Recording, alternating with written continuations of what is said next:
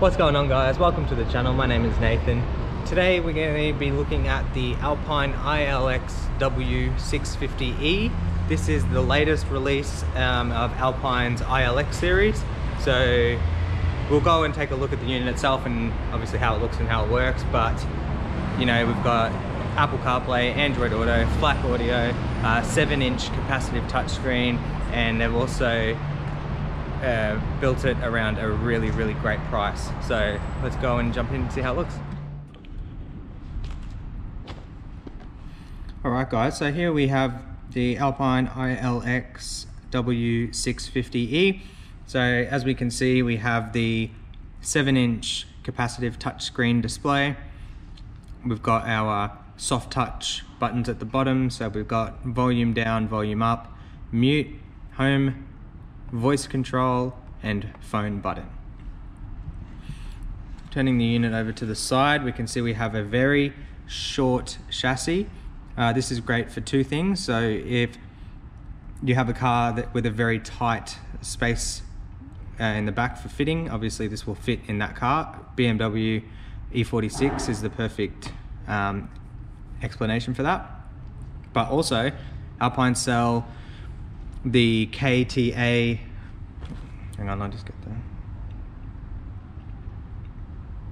KTA-450 amplifier, which I've just brought it up here on the phone. So basically what this does is mounts on the back of the unit with these brackets right here. And so basically you'll have unit and amplifier and it will still be shorter than a traditional double DIN unit. Uh, that amplifier will give you 400 watts RMS, 100 for each speaker channel. Uh, so that is something that they've sort of innovated. They won an award at CES for that. So you've got unit, amplifier, and then you've got an amazing sound system uh, ready to go. You don't need that amplifier. It's just an add-on. You can buy this and wire it up through the power wires uh, and your speaker wires and it will run the speakers just fine. So looking at the back, we've obviously got our Alpine power harness, USB, camera slash pre-outs, steering wheel remote input, microphone input, and universal radio antenna. Within the box, you will get the pre-out plug. So this has your rear view camera and your three pre-outs. So sub, rear speakers, front speakers, as well as a front camera. So we have two camera inputs on this unit. You will get the external microphone.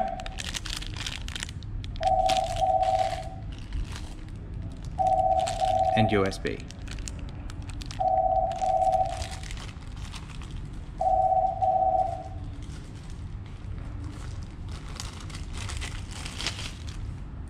And so the way that this USB mounts, you can see we've got that right angle just to keep everything nice and shallow.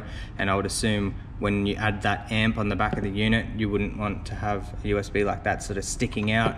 You want it to be nice and tight and compact. So that's something they've done as well.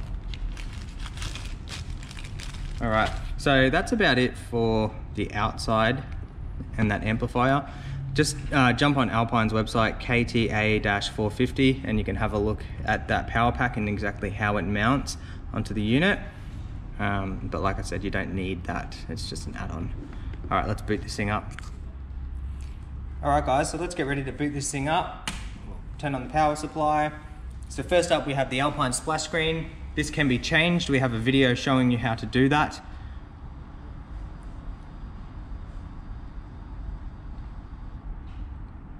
All right, so it doesn't take too long. And then first thing we want is to pick our language. So we'll select English, and then boom, here we are at our home screen.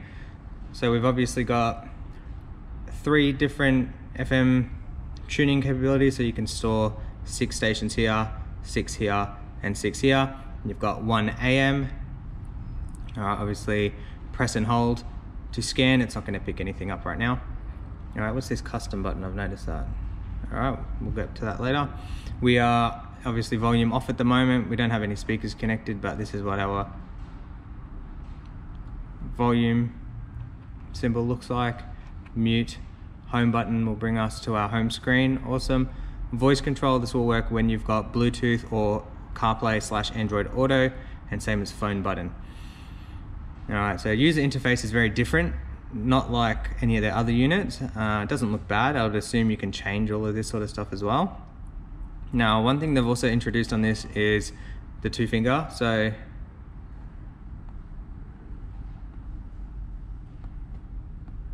using two fingers, we can go volume up, volume down, anywhere on the screen. All right, I'm too good at it at the moment. My GoPro's in the way. All right, like this. And also track down and track up. So the good thing about that is that you're driving along and you want the volume up, you don't need to sort of take your eyes off the road and focus on this point right here. Uh, and if you don't have steering wheel controls, you know, it, even worse, right? So you sort of got to look here to go up and down, where now you can just go, oh, I'll just turn it up a bit. Pretty good. Radio we looked at, USB, so obviously if you've got a USB connected to that extension, it will work. Same as iPod, they'll work one in the same. Connectivity we'll look at once we've connected our phone. We've got auto brightness on this unit, if you just noticed it did I must have touched something. Uh, it did, did, dim down a little bit. Uh, Bluetooth audio, reverse or front camera input, which we looked at. Let's look at the Bluetooth audio screen. So Let's see how easy this is to connect to Bluetooth.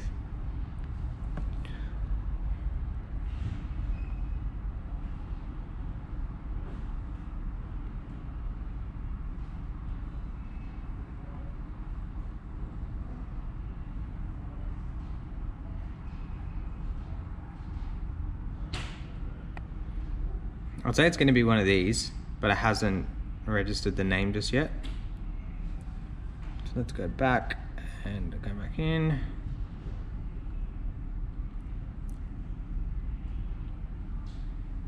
That's not the one. Okay, so the unit has found the phone first. There we go. All right, pretty easy. So we've got hands-free and audio streaming. So obviously we can have four devices in total that can I think you'll have one primary, which will do both, and then the rest of them will do phone only. All right, so let's go home. So we've got, that's what the Bluetooth audio symbol looks like. Phone, so if we press phone, that's gonna bring us up our keypad, recent contacts, contacts. Obviously you can go through, can you scroll? Obviously I'd say you can. All right, so that's one way of doing it. Doesn't look like you can scroll that way two finger. No, it's going to do volume. So this is the way we'll scroll, like so. All right, we'll go back. That's going to be playing, we'll pause that. Okay, setup, let's have a look. So sound settings. Okay, so here we have our fader and balance. So obviously we keep that in the middle. Bass and treble settings. Right, this has been played with already. Can flat that, perfect, so everything flat equalizer. All right, so you've obviously got custom, so that's what that will explain custom. There we go, pop, classical, rock, flat.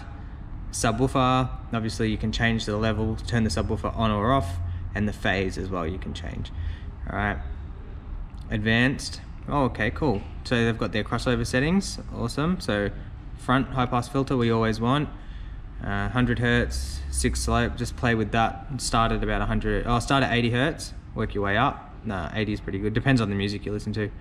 Channel, rear, high pass filter, alright, set it. PEQ, alright, cool. So you've even got your band equalizer, it's pretty good. Time uh, setup, so you can set up time correction if you want. You've simply got to measure the space between the seat and the speaker and then set it like that in centimeters. So that would be one centimeter. All right, and then we can go back to simple settings and we've got fader, bass, treble, all that sort of stuff. So you can play with all these things and obviously just put them back to flat if you get stuck and start again. Uh, okay, volume control. So when you get a, uh, a phone call, you can change the volume, the caller and microphone volume you can change. What else have we got? uh, the sound back, uh, feedback when you press any of these keys. All right, so you've got two different tones, I would say. System settings, off display on, so you can turn the display off. Uh, I'm not sure how that is done, but you can figure that out yourself. Time, dimmer, so auto dimmer like we spoke about, or you can do the play with the um, dimmer and the key illumination yourself. Language we've been through, and you can reset everything back to factory if you don't like it. Connectivity, CarPlay we want on, guidance volume, this will be Siri. Bluetooth we've connected, so pretty simple. Camera, in camera you've got primary, which will be your reverse camera. Now obviously put the car in reverse camera image comes up. Secondary was the front camera, or you can make that a side camera input or something else, caravan or whatever else. The picture quality and signal you can adjust and the guidelines as well and you can obviously move those cones around and get it exactly how you like it. Uh, so that's about it for the settings and now just looking at what we've seen already for the price of the unit the unit is 599 um, recommended retail here in Australia 600 bucks Apple CarPlay, Android Auto, and all of the settings we've gone through, including the equalizer. Uh, it's looking like a really good unit so far. All right, what we'll do is plug in the iPhone and have a look at Apple CarPlay. Okay, so I've just plugged my lightning connector or the USB of the lightning connector directly into the back of the unit. So we will go ahead and plug in the iPhone, hit allow, and off to the races. Okay, Apple CarPlay, here we go. Um, just so you know, as soon as the update becomes available for iOS, we will do a video on the new CarPlay, how it looks, how it works, and go through all of that stuff with you. But, all right, nice and smooth. Everything looks good. Phone. Who do you want to call? All right, so that will go through the speakers normally. It's just gone through the phone today. Um, when, when this is all connected, microphones in, everything will work perfectly. So obviously, who do you want to call? You can tell Siri who to call, and it's trying to use the external microphone, which isn't plugged in, obviously. Um, or you can just go through your contacts and just scroll through and give somebody a call like that. Or keypad, right? And just go ahead and dial a number. This will bring us back home. Music, so whether you use Apple Music or Spotify, they were both here. So I used to have Apple Music, I've changed now. Whoop. So we don't want to, that home button brings us home. This home button brings us to this home. Uh, so I use Spotify now, so just go in here, recently played, all right, 2000, uh, daily mix, all right, all the stuff I like to listen to just comes up. Pretty cool. All right, home again. So you've obviously got Waze, WhatsApp, and iHeartRadio. Check this app out if you haven't already. Um, pretty much digital radio from your phone. Audible, podcasts, which I listen to a lot. This will bring you back to the Alpine screen. Now playing will bring up your most recent, which is Spotify. Oh, I keep doing that. Um, messages, again, you don't type, you just speak, and it will turn it into text for the um, for the other person. So there's a bunch of messages here that I need to get to.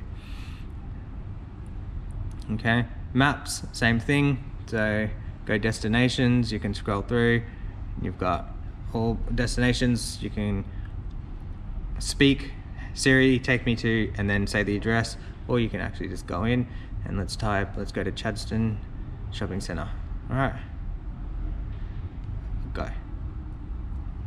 Done and now it's going to give us our ETA and all that sort of stuff as well. Can end that home uh, music we went through and that's about it for CarPlay. So Android Auto same thing. I don't have an Android phone so I can't show you guys that. Um, actually I'll go and get one. I'm sure someone here has an Android phone. Alright guys, so we've got the Sony Xperia connected. Uh, we have had to try a couple phones, but it's not a limitation of the unit, it's just Android Auto can be a bit temperamental. Okay, so basically Android Auto looks the same. We haven't got the new update yet. Uh, there is an update coming, which we will do a review on as well. This is our little home button. this will show you some recent things that you've seen. So obviously maps and weather. Phone, so this will just bring up your recent calls, dial a number, or you can go ahead and look at call history, contacts, dial number here as well, and missed. All right, taking us back. This is navigation, so we can search all destinations and you can just type in, uh, same as, this is Google Maps, not Apple Maps. On uh, CarPlay, you can use Google Maps as well if you've got the app downloaded. No, Google, why did I type that in? I wanted Chadstone. All right, pretty, pretty straightforward. Um, okay, there we go. Now we can go here. Will bring us back.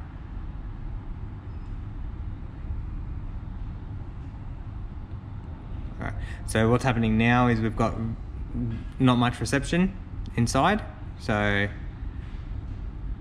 the unit's sort of freaking out with, uh, with, with not much reception. So again, that's recent things that we've been looking at.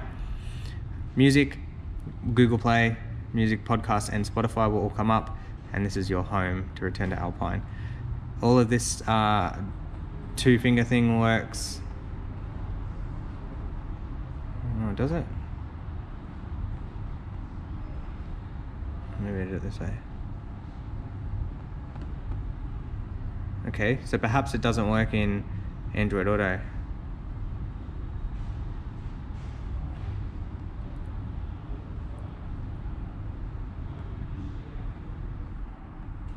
Yeah, okay. Looks like it does not work in Android Auto.